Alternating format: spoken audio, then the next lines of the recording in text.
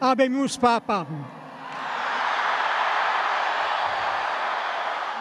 Would you like to congratulate Pope Francis on the first year of his pontificate? Well, it's now possible thanks to a website titled graziefrancesco.com. The way it works is quite simple. It collects messages posted on Facebook, Twitter, and its own website. The goal is to send them all to Pope Francis on March 13th. It's not just about sending a message, but also about sharing it, so users can read the comments others leave as well. To write something, one must use the hashtag ThankYouFrancis, which is actually available in eight languages.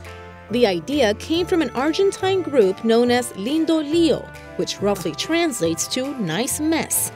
And so, through this website, they're inviting everyone, not just Catholics, to send a thank you message to Pope Francis to mark this unforgettable year in history. In fact, on the first day it was launched, the website collected over 2,500 messages.